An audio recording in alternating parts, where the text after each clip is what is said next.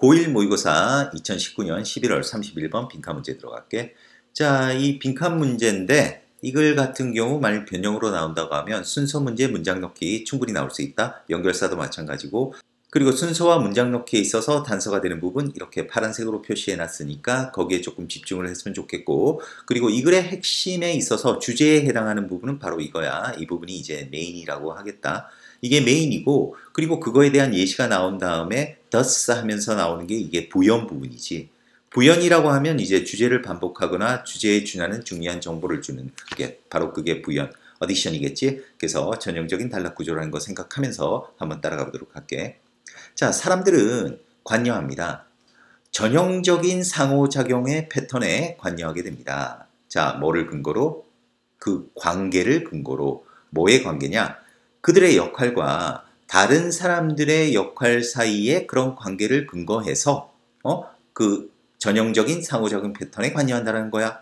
어, 이거 누구나 알고 있는 거겠지? 그지? 사람들은 이렇게 상호작용에 관여한다는 게 자신의 역할과 다른 사람하고의 역할 사이에 어떤 관계에 근거를 하지 않겠니? 자, 그래서 좀 더 구체적인 얘기로 들어간다. employers. 고용주들은 기대되어집니다. 어? 그 직원들과 상호작용하도록 어떤 특정 방식으로. 자 뭐와 마찬가지로? 의사들이 환자들과 어, 어떤 상호작용을 할 것으로 기대되어지는 것과 마찬가지로. 자 이렇게 되겠지? 자 그래서 이 as라는 거는 좀 참 특이한 접속사다. 앞에 있는 어구들을 받아버릴 수가 있어 그래서 앞에 있는 어구가 동일 어구가 되다 보니까 동일 어구들을 싹 제외하고 그러니까 expected to interact 싹 제외해버리고 이렇게 비동사만 대동사처럼 남아있는 이런 구조가 되어 있다는 거 참고로 알자. 자 어쨌든 해석은 이거야. 저 사장들은 종업원들과 특정 방식으로 어떤 상호작용을 할 것으로 기대가 되는데 그 의사들도 환자들과 어떤 특정 방식으로 상호작용할 것으로 기대된다 이거지. 자 그런데 각각의 경우에서 행동이 제약이 됩니다. 뭐에 의해서?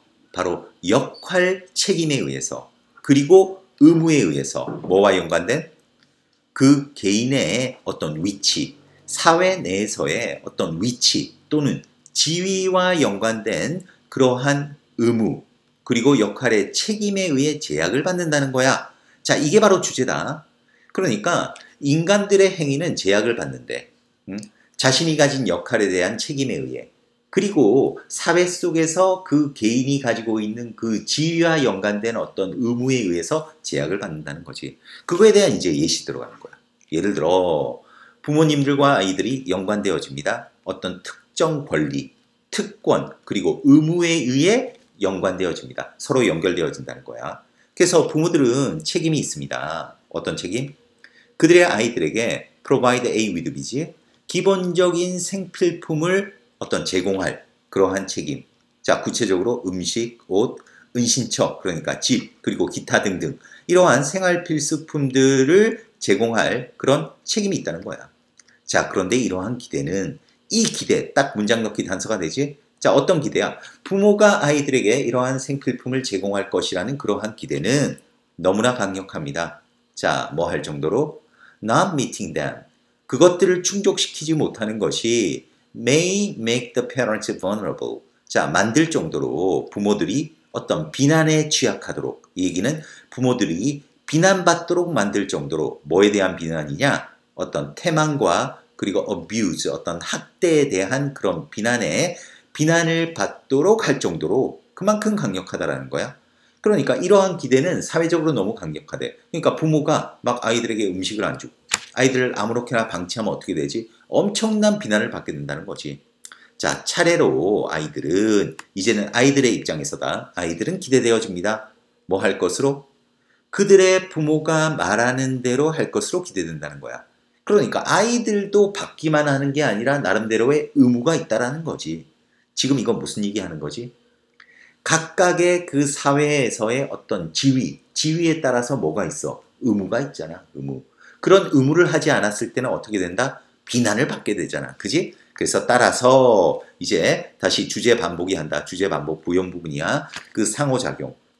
어떤 관계에 있어서의 관계 내에서의 상호작용은 바로 기능입니다. 해놓고 이거 나돈니 보돌서다. 어떤 기능? 관련된 사람들의 어떤 개별 그 성격에 있어서의 기능일 뿐만 아니라 이런 상호작용이 자 또한 어떤 역할 요구 사항에 대한 기능이다. 뭐와 연관된?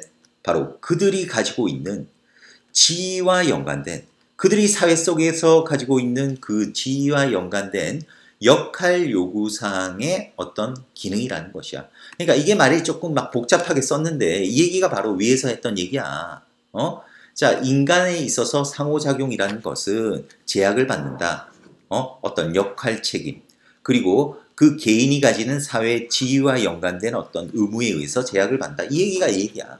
그러니까 상호작용이라는 것은 자, 인간들이 어떤 관계 속에서 하게 되는 이러한 행동들이 개인적인 어떤 성격으로부터 나오는 것일 뿐만 아니라 또 뭐로부터 그들이 사회 속에서 가지고 있는 이 지위와 연관된 그런 역할 요구사항의 어떤 기능, 기능으로서도 나타나게 된다.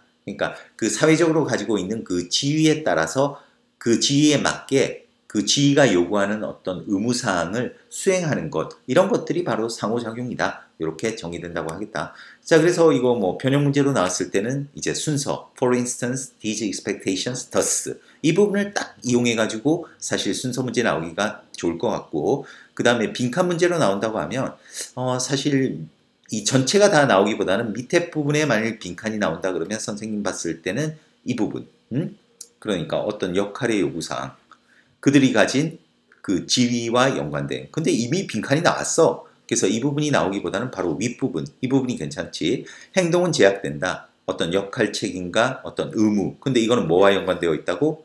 개인들의 위치 사회 내에서의 위치와 연관되어 있다고. 이 부분이 또 빈칸으로 나온다면 어, 충분히 나올 수 있는 부분이 아니겠나. 그리고 뭐 주제를 정리한다고 한다면 선생님이 지금 형광펜 친 부분 이게 바로 주제지. 알겠지? 어, 그렇게 정리해두면 될 것 같습니다. 자, 31번 여기서 마무리하겠습니다. 수고했습니다.